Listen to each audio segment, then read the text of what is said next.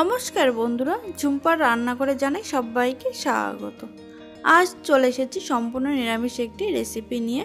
Soybean দিয়ে আলু পটলের ডালনা। ভীষণ ভালো হয় খেতে, আপনারা নিরামিষ দিনে বানিয়ে নিতে পারেন। এটা ভাত, রুটি, পরোটা সব কিছুর সঙ্গে ভীষণ ভালো লাগে আর একদম কম তেল মশলাই তৈরি হয়ে যায়। তাহলে রান্নাটা শুরু করা যাক। সবার প্রথমে কড়াইতে দিয়ে দিয়েছি দুই টেবিল চামচ সাদা তেল।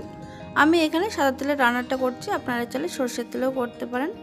দিয়ে দিয়েছি হাফ চামচ জিরে, একটা শুকনো লঙ্কা আর দুটো তেজপাতা। এবার দশ থেকে পনেরো সেকেন্ড একটু নাড়াচাড়া করে নেব। এবার তেলের মধ্যে দিয়ে দিচ্ছি কেটে রাখা আলু। এখানে আমি দুটো মিডিয়াম সাইজের আলু একটু বড় বড় করে কেটে নিয়েছি। আর আলুগুলো আগের থেকে নুন আর হলুদ দিয়ে পাঁচ মিনিটের জন্য একটু মাখিয়ে রেখেছিলাম। এবার তেলের মধ্যে এক মিনিট একটু নাড়াচাড়া করে নিচ্ছি। আলু এক মিনিট ভেজে নেওয়ার পর এবার দিয়ে দেব কেটে রাখা পটল। পটলও আমি পাঁচ মিনিটের জন্য নুন আর হলুদ দিয়ে মেখে নিয়েছিলাম। এতে করে পটলটা অনেকটাই নরম হয়ে গেছে আর ভাজতেও কিন্তু খুব একটা বেশি সময় লাগবে না। এবার আলু আর পটল গ্যাসের ফ্লেম মিডিয়ামে রেখে দুই থেকে তিন মিনিট একটু ভেজে নেব। আলু আর পটল আমি হালকা লালচে রং আসা পর্যন্ত ভেজে নিয়েছি। ভাজা হয়ে গেছে, এবার এর মধ্যে দিয়ে দেব আগের থেকে সিদ্ধ করে রাখা সয়াবিন। আমি এখানে হাফ কাপ সয়াবিন দু মিনিটের জন্য জলে সিদ্ধ করে নিয়েছি, তারপরে জল ঝরিয়ে নিয়েছি। এবার আলু আর সয়াবিন আর পটল একসঙ্গে একটু নাড়াচাড়া করে নিচ্ছি।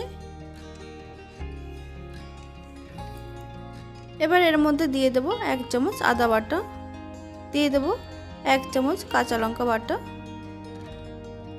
দিয়ে দেব একটার অর্ধেকটা টমেটো, একটা মিডিয়াম সাইজের টমেটো, তার অর্ধেকটা আমি দিয়েছি। দিয়ে দিলাম হাফ চামচ ধনে গুঁড়ো, হাফ চামচ জিরের গুঁড়ো আর দিয়ে দেবো হাফ চামচ হলুদ।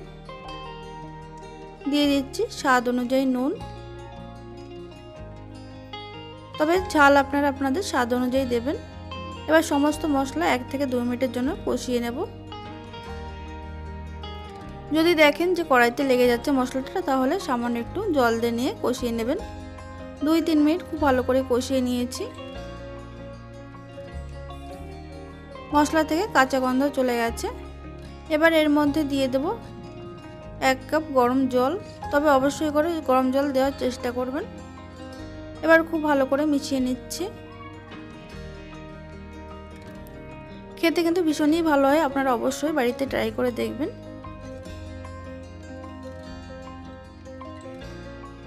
এবার ঝোলটা ফুটে উঠেছে, দিয়ে দিচ্ছি কয়েক দানা চিনি, তবে এটা অপশনাল তবে চিনি দিলে স্বাদটা ব্যালেন্স হয়ে যাবে। আর দিয়ে দিচ্ছি হাফ চামচ গরম মশলার গুঁড়ো। চিনি আর গরম মশলার গুঁড়ো দিয়ে খুব ভালো করে মিশিয়ে এবার গ্যাসের ফ্লেম লো টু মিডিয়ামে রেখে পাঁচ মিনিটের জন্য হতে দেবো। পাঁচ মিনিট হয়ে গেছে, পাঁচ মিনিট পর আমি ঢাকনাটা আবার খুলে নিচ্ছি। দেখুন ঝোল অনেকটাই টেনে গেছে। এবার খুব ভালো করে নাড়াচাড়া করে মিশিয়ে নিচ্ছি। আলু আর পটল খুব ভালোভাবে সিদ্ধও হয়ে গেছে। তাহলে বন্ধুরা আপনারা দেখতেই পেলেন কত সহজে তৈরি হয়ে গেল সয়াবিন দিয়ে আলু পটলের নিরামিষ ডালনা।